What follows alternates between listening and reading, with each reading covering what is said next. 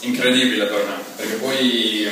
si parla sempre solo della gara, ma poi tutto quello che c'è intorno all'Olimpiade è veramente è impressionante, uno non, non, se lo immagina neanche, però poi io arrivavo là con, con tante aspettative sia da me stesso che dalla gente, quindi gestire questo genere di, di tensione, di pressione mi ha fatto capire che sono arrivato a un buon livello di concentrazione mentale perché ho fatto cose che non sarei mai immaginato di fare. e se penso magari a due anni fa a trovarmi in una situazione del genere sarei crollato, avrei fatto cavolate di sicuro. Invece quest'anno dopo, dopo tanta esperienza dopo tante gare fatte ad alto livello sono arrivato lì con diciamo, una consapevolezza diversa, quindi fare un'Olimpiade così dove tutti si aspettano tanto e riesci comunque a dimostrare quello che vali, per me è stata la cosa più importante, cioè, cioè dimostrare a me stesso che ero pronto a una situazione del genere, quella gara viene da sé, quasi l'ultimo dei problemi, però rimanere concentrati per quattro anni e poi soprattutto le ultime due settimane prima della gara dove sembra che tutto vada male, che tutto sia ah, il contrario di quello che ti aspettavi, però... È stato un momento a Santos che non, non è che fosse intorbidito o impaurito, è stato un momento, dice ma con te che sto bene, com'era? Sì, a parte che io sono pretendo sempre tantissimo da me stesso, quindi poi a Santos semplicemente non trovavo le sensazioni che, che, volevo, anche se poi i tempi magari venivano in allenamento, però poi io pretendo sempre di stare come voglio io in acqua, quindi una settimana prima della gara stavo ancora male e lo dicevo apertamente al Moro, lo dicevo apertamente a lui, che erano tutti lì, quindi si era creata un'agitazione io dicevo guardate sto andando abbastanza bene, però sto veramente male. Mi manca qualcosa. Mi manca qualcosa, mi manca qualcosa e quel qualcosa secondo me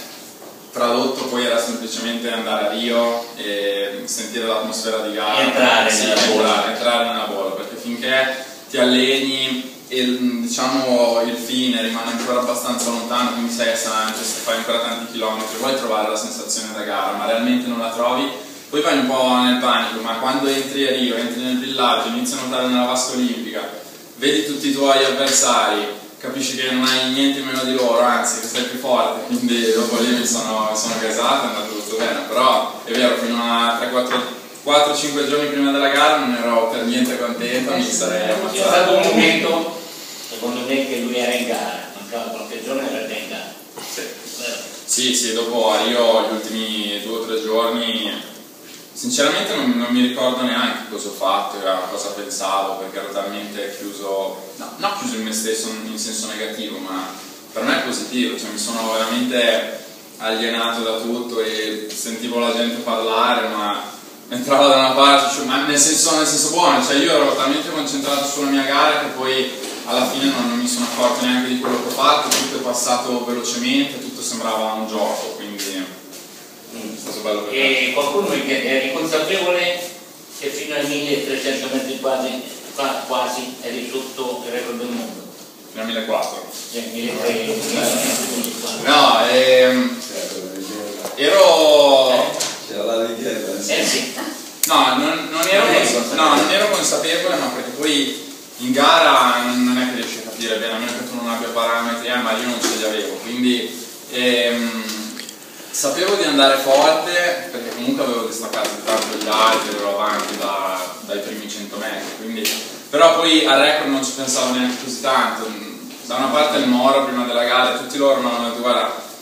eh, cioè stai tranquillo, sei, sei, più forte, rilassati, vai, fai la tua gara e vedrai che andrà bene. Quindi nuota, nuota bene, cerca di fare la gara in progressione, poi quando sono arrivato lì davanti al blocco con quasi paura mi è venuto sempre partita canna, l'opposto di quello che mi aveva detto il mono, però, però d'altra parte volevo, volevo, più dimostrare a me stesso che potevo, potevo, lasciare gli altri lì dopo 50 metri, andarmene, fare gara da solo piuttosto che fare una gara ragionata, probabilmente meglio, probabilmente facevo il record del mondo, ma che se ne frega, è un'Olimpiade, quindi io volevo semplicemente stare davanti a tutti e vincere. Quindi diciamo che la gara dal punto di vista tecnico non è stata perfetta, però secondo me alcune volte l'atleta deve avere la, la capacità di dire va bene, però lascia fare a me come voglio fare, cioè va bene il tempo, magari lo farò in futuro, non lo farò in futuro, però è un'Olimpiade. Io in quella situazione lì mi sentivo più sicuro diciamo, a cercare di vincere l'oro più che fare il tempo, quindi sono partito forte e dopo chiaro verso i 1000, 1100 c'è stato un periodo di crisi, gli altri mi hanno iniziato a riprendere, però avevo già 20 metri di nuotato. Eh, quindi... Va bene, io richiederei, come faccio spesso, di, di non apprezzare, cercare dietro la medaglia d'oro quello che, che io apprezzo di più che sono i valori morali, umani e sociali di Gregorio. Eh?